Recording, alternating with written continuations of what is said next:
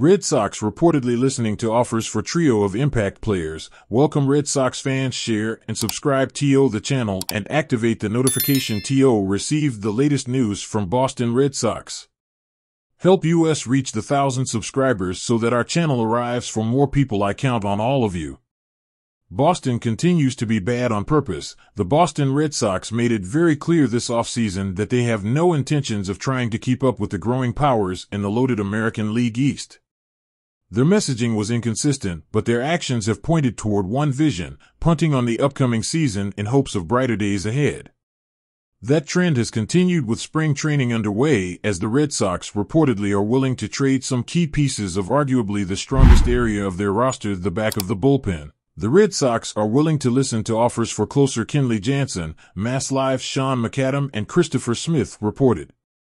But to date, they have been reluctant to take on any of Jansen's 2024 salary of $16 million, according to a source. Jansen has been long rumored to be a trade candidate amid ownership's incredibly unnecessary budgetary restraints, but he's not the only player up for grabs.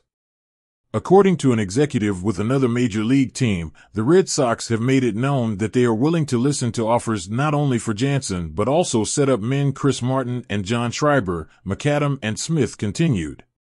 The Red Sox have been clear that they will not spend unless the team appears to be a surefire contender, which it never will be due to increasing payroll restraints.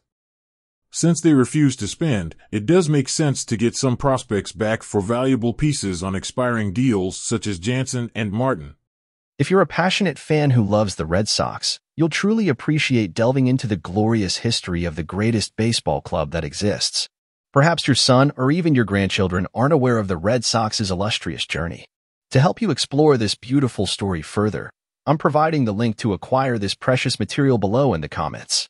I've pinned it for a limited time exclusively for fans who genuinely love the Red Sox. Click below in the comments and receive right away the greatest achievements of the Red Sox, available only today for a limited time. However, their unwillingness to absorb any of their salaries will hurt their return from a prospect compensation standpoint. Or, they could sign Jordan Montgomery, keep the majority of their current pieces in-house, and actually make strides toward competing instead of spinning in circles. Fan of the Red Sox, what do you think of this attitude of the owners? Leave your opinion in the comments and leave your like and share and subscribe to the channel and activate the notification to receive the latest news from Boston Red Sox.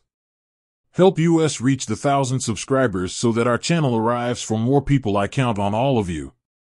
And remembering that we have our ebook for sale at the link below and that was designed for true Red Sox fans.